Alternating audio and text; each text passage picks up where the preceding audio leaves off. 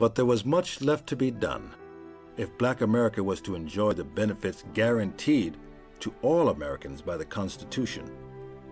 One man, Charles Hamilton Houston, believed that not only could the NAACP do more, it had to take the lead. In 1935, he left his job as the dean of the prestigious law school at Howard University to become the NAACP's first full-time salaried legal counsel in 20 years. Charles Hamilton Houston went to South Carolina with a movie camera and would film county by county the black school and the white school. And it was just this visual essay in inequality, but inequality doesn't even describe it. I mean, just the awful conditions that young black children went to school under. I mean, they had schoolhouses where there were cracks in the wall, they were crowded together on benches.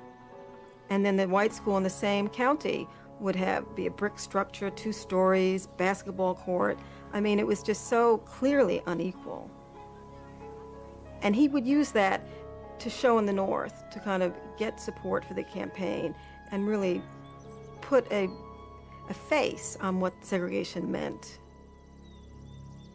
There were still people, even the NAACP, who thought that black people simply had to improve their own worlds uh, and to make them sort of somehow better and, and more sustainable.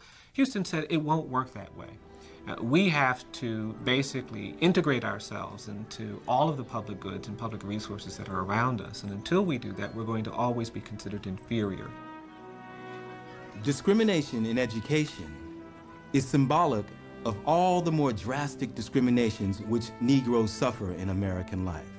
And these apparent senseless discriminations in education against Negroes have a very definite objective on the part of the ruling whites to curb the young blacks and prepare them to accept an inferior position in American life without protest or struggle. The discriminations practiced against the Negro are no accident. Charles Houston. Houston was convinced that the battle for civil rights had to be won in the schools but would have to be fought in the courts. Houston knew that the Constitution, properly understood and rightly applied, would give black Americans the freedom they were fighting for. So he took the fight to the courts. My grandfather saw the courts as the ideal way to achieve equality because if you fought that fight and you won, well, then it would be a legitimate victory and it would be one that would be recognized by everyone and would have the weight of authority behind it.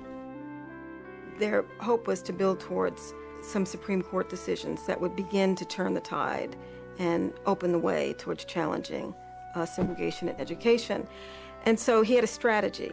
Charles Houston, having his training from Harvard Law School, understood that judges are not going to make decisions that will overturn rulings having to do with constitutional interpretation unless absolutely so it was Charles Houston who became the strategist and the architect for a campaign that would gradually dismantle the precedent of Plessy versus Ferguson, the 1896 separate but equal doctrine. So they began to carefully pick cases that they would litigate, pick cases to win. And cases to establish precedent.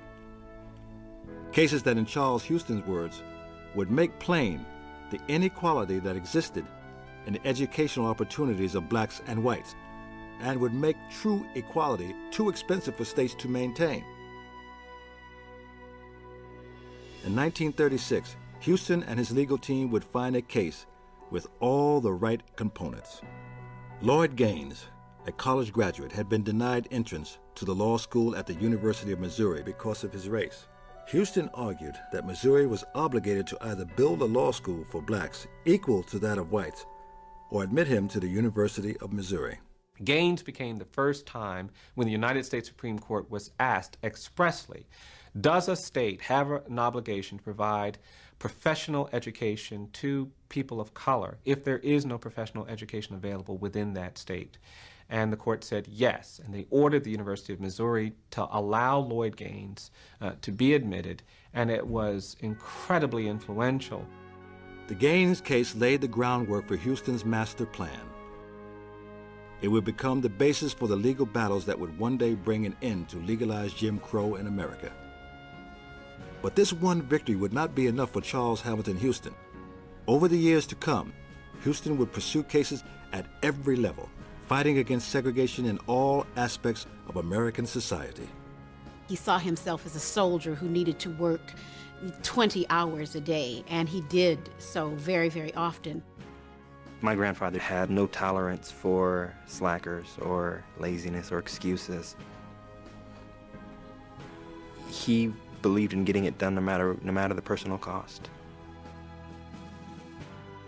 I think my father saw himself as a soldier, as a, as a fighter in a, uh, a long campaign against, against injustice. He did not stint in his hours or in his travel or in his legal preparation, despite the fact that his health was declining. After suffering two heart attacks on April 22, 1950, Charles Hamilton Houston died. My father, on his deathbed in the hospital, was given uh, a book uh, written by uh, the attorney Louis Nizer entitled Peace of Mind, and that in the margin of uh, one of the pages of that book, he inscribed to me the message, uh, Tell Bo, uh, which was my pet name as a boy, that I did not run out on him, but that in every fight, some fall.